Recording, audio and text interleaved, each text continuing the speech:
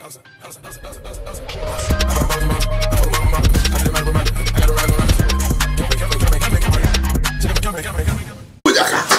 good, everybody, man? Welcome back to Wild'n with Marcus. You already know what time it is, family.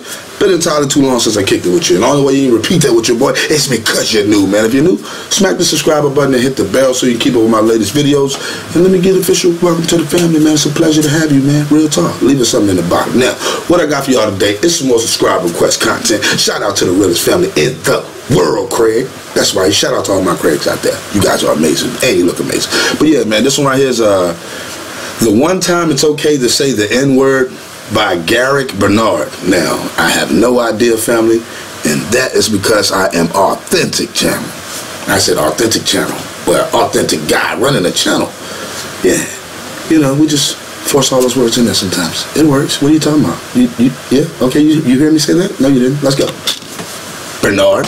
Y'all don't have to keep telling me that you saw Black Panther. Like I get, I get it. You're a good person. You, you're a good person. I get it. You don't have to keep telling me that shit. But stop acting like that's reparations and I get that money. I don't, bro.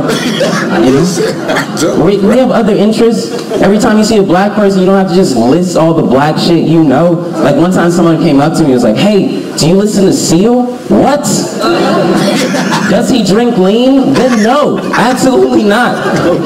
Just be observant for a second. Just look at me. So, okay, so Garrick wears skinny jeans and glasses.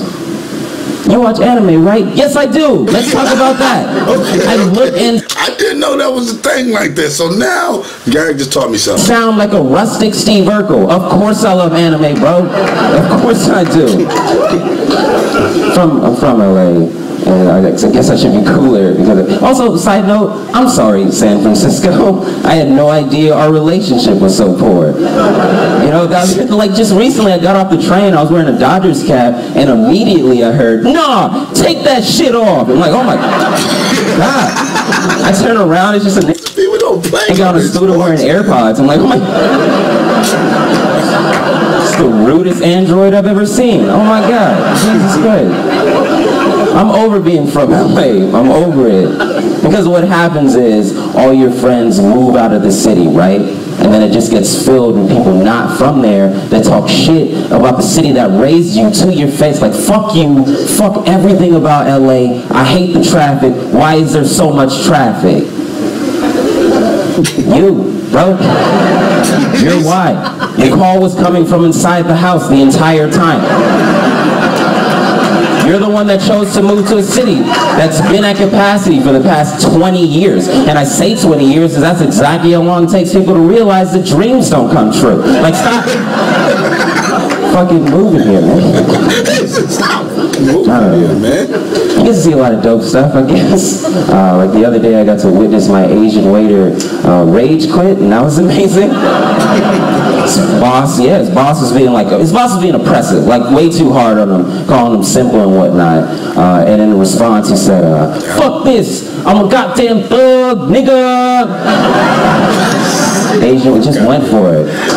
Best part about it though is that I was the only black dude in there, so being the only race officer present, everyone simultaneously It's like, uh, excuse me, sir, you said the word. Uh, aren't you gonna do something about this? No, not at all. Because if you're gonna say it, that's when you say it, bro. I clap, I clap for him. I feel like he didn't even mean to say it. The word just kind of manifested itself, because that's where it belongs. Deep within the bosom of liberation, right? He's stupid, bro. That was it. That was quick. That was painfully quick. How y'all gonna do us like that, bro? I didn't even get a chance to know old Garrick Bernard, man.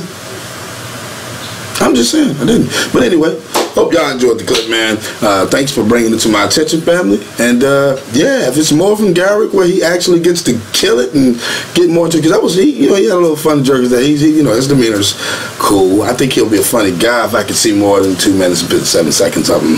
I'll give that a shot, you know. Yeah. So yeah, who is this? Uh, uh, Meek Mecky Leaper. Porn for equality. Okay. That semen is way grosser than periods. Molly Austin. All right. No, I didn't. I didn't even mean to read those out just now. Just kind of happened. Mm-hmm. But yeah, you know what time it is though, family. Worst part of the video, part where I gotta go to get some more. Uh, I got more subscriber content to get into, and I can't wait to get into it without, I mean, with you guys. So yeah, that's what I'm gonna do right now. And on a side note, stop giving your time and attention to those who don't give their time and attention to you. Invest in those who invest in you. Wow, Marcus, love y'all. Drop it to man. Y'all be safe out there. I'll see y'all soon. Latest. Rolling up in something new and taking all the bitches. How you get your car that tone? That shit is so prestigious. I would compliment your shit, but I would really mean it. Niggas hating on the kid.